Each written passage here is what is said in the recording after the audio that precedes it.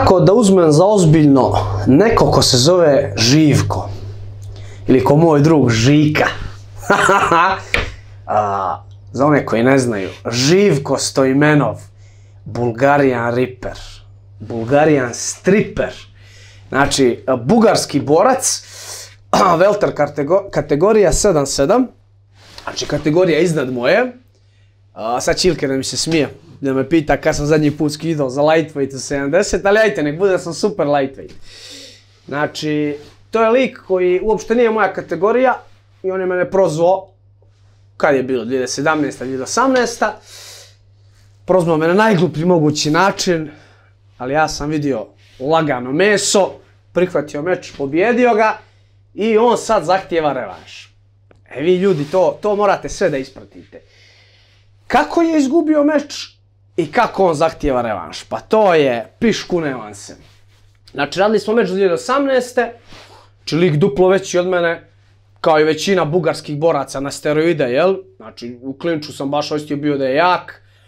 Ali ja sam mu rekao, Žikice, ni ćeš me moć bacit, ni ćeš moć da me nokautiraš, jer neđe u protekli meča mu je prošao neki high kick, nokautirao je nekog Portugalca što se bori na Bellator i umišio je da je uvatio Boga za, za muda, proti mene mu nije moglo ništa proći, nije moglo da me baci, ja sam ga tuko, na kraju sa slomljenom šakom, znači toliki sam bio malo da sam u tom meču polomio šaku, uh, koju sam operiso, s tome sam pričao milione puta, tuko sam ga pred njom cijelo vrijeme, bježao je i na kraju nije znao šta će i odglumio je povredu između rundi, rekao je svom uglu da je sjebo koljeno.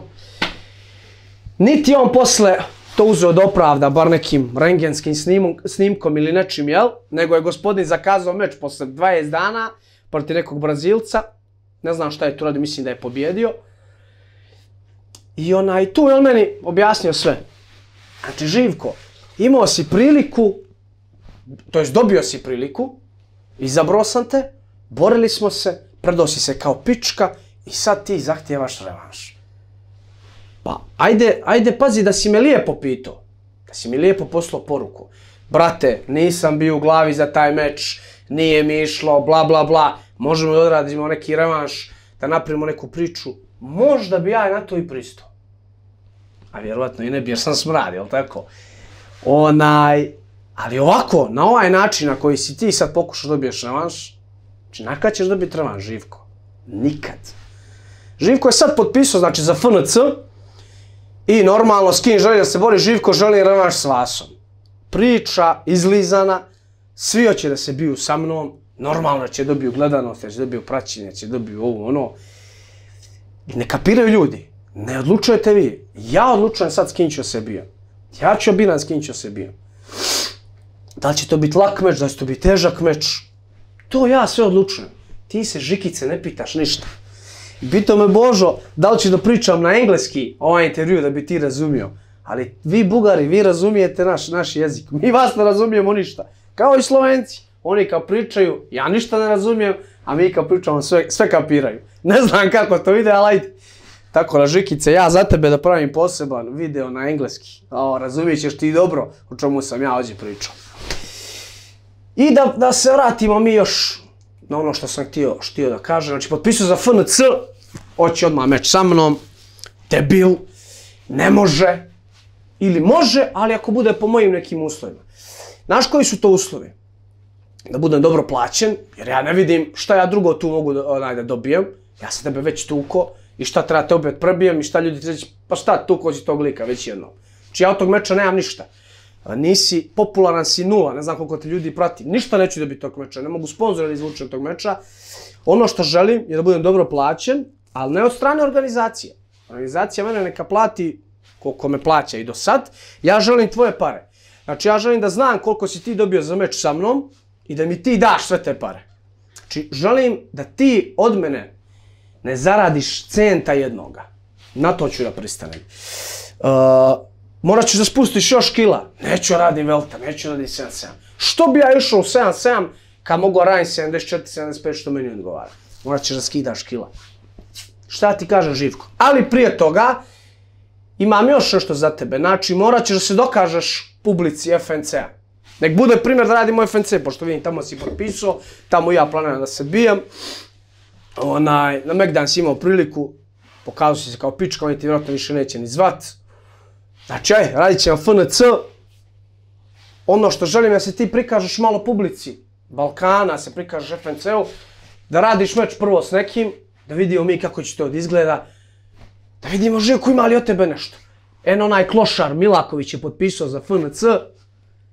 Dva papana, taman da se biju, Živko i Milaković. Milaković normalno potpisao za FNC, hoće meč i on sa mnom. Znači, otkrio Ameriku, svi su se smijali. Ko je Milaković? Debil. Imao je priliku da se bije sa mnom, ali na ulicu kad smo se sreli u Podgoricu, pa nije pokazao velika jaja. Kad smo se sreli na matersko takmičenje u Vrbas, nije pokazao velika jaja. Povuko je ručnu i on je njegov menadžer kad sam se unosio tamo u facu. Ja se izvinjavam, ja sam debil, ja se spuštam na te nivoje, to više neću radit, ne zanima me ko što piše za mene, ko što kaže, neću se primat. Ko mi priđe i ko će da ima problem, možemo da ga imam odmah, Nik, nikakav problem. Ali da ja napadam ljude, ko je što rekao, ko je što napisao, izvinjavam se i neću više nikad. Uh, tuci se s Milakovićem, on ti je bivši Belator, jebote Belator veteran Milaković, alo pakao, šizofrenija, lik ima 5-4 skor, ne znam ni odakle, ni gdje trenira, znači, ni s kim trenira, ono, nije se ni borio dugo što sam ja vidio. Tucite se vas dvojica, živko, ako pobjediš, ako se pokažeš, možemo da govorimo revanš po onim uslovima. I to ti je to. Pa taman da kupiš neko novo auto, ne voziš više onoga BMW iz 2007. Kakve su ti ono slike, majke ti mile. Još jedna stvar, Živko, pričaš tamo uh, online, pričaš svašta, taguješ ovo ono jebeš majko, onda meni u inbox šalješ poruku, e brate, možemo da igramo online igrice? Kao ja mogu ja da se povežem sa Sony četvorkom, da igramo, a ti sa Sony peticom, da igramo kao zajedno onaj... Ne može Živko, nismo i ti drugovi. Ja nisam peder da igram s tobom igrice, da se dopisujem. Tako da nema ti toga ništa. Če te fake priče, batali me toga. Ti, Ivica, Trušček i te bajke što pričate, ovamo spuštate loptu, opuštate protivnika, i onda da napravite haos. Nećemo to, Žikice, nećemo to. Ja sam objavio i za tebe, i za Truščeka, i za Đura, i za Pera. Sve što sam rekao ispostavio se da istina. Ja nikad ne lažem. I ovaj kanal, rekao sam hiljadu puta reći pa opet, ovaj kanal istine. Sviđalo se vama to ili ne? Tako da, Živko, evo, danas smo se dopisivali, koji je danas dan? Neđelja. Danas smo se dopisivali, rekao sam ti, napravio sam ti Živko klip. On kao, to, bro, ti si srećan, ne možeš ću ti napraviti klip. Ali glupane, nisi napravio klip da te pofali, nego da kažem kakav si papan. Tako da pogledaj ovaj klip i uživaj. Evo imat će sigurno 56.000 pregleda za 5-6 dana koji bi ostali. Da te malo, brate, poguramo, jeli? A, na tebe, sve što udaješ da pobjediš. Lupam, Milaković, jel nemam pojma koga. Pokaži se, pa ćemo se dovorimo. Forgiju to igra, to će ljudi da gledaju. Tako da što ne? Ćao, Žikice, Bulgarijan, Triper.